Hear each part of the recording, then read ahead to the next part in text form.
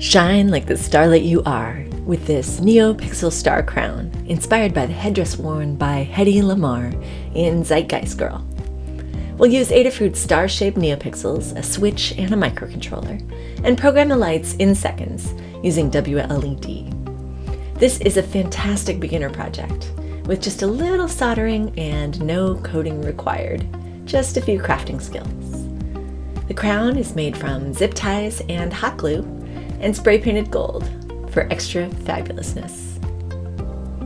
Dress it up in your style and let your starlight shine. See the full build tutorial at learn.adafruit.com and remember to subscribe for more fun electronics projects.